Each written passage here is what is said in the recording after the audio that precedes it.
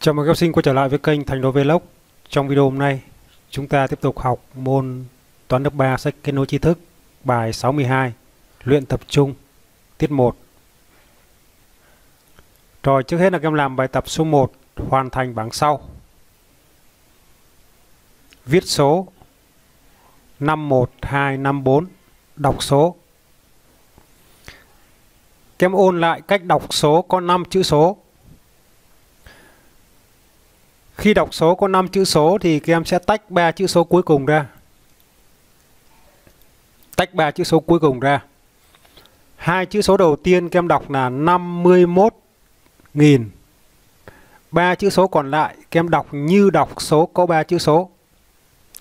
51.254 51.254 Rồi, đọc số 38.000 Thì các em viết số 38 này. 519 519 Được chưa? Rồi.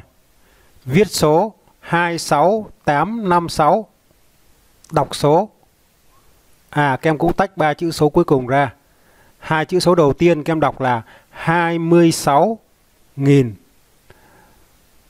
Ba chữ số còn lại các em đọc là 856. 26.856. Đọc số 79.000. Các em viết số 79. 600. Các em viết thêm 600. Được chưa?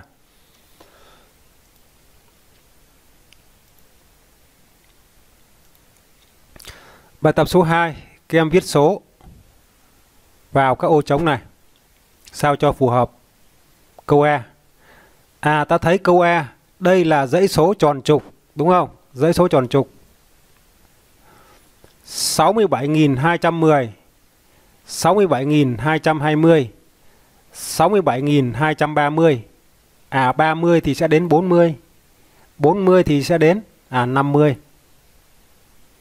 Rồi câu B Câu B chúng ta có nhận xét dãy số này là dãy số tròn trăm, đúng không? Các em nhớ có một chữ số 0 cuối cùng là tròn trục, có hai chữ số 0 cuối cùng là tròn trăm, có ba chữ số 0 cuối cùng là tròn nghìn. Được chưa? Rồi, câu B, chúng ta có dãy số tròn trăm. 46.600 46.700 À 700 thì sẽ đến 800 800 sẽ đến 900 đúng không? 46.900 cộng thêm 100 thì ta được à 47.000. Rồi, câu C. Chúng ta có dãy số tròn nghìn. 79.000. À 79 thì đến 80, 80.000, 81.000, 82.000 và 83.000.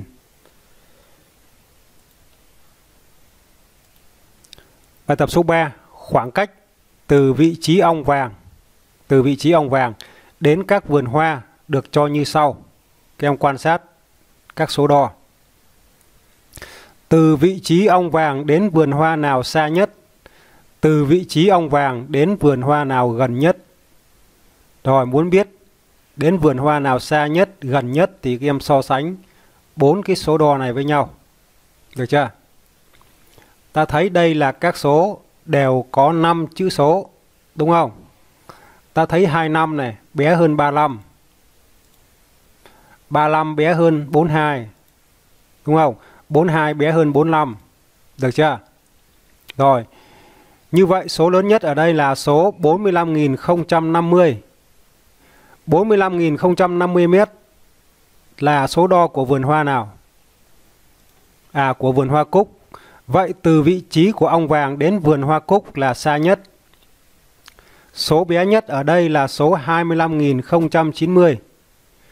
25.090 mét là số đo của vườn hoa nào? À, của vườn hoa hướng dương. Vậy từ vị trí của ong vàng đến vườn hoa hướng dương là gần nhất. Rồi, các em trả lời. Rồi, vì.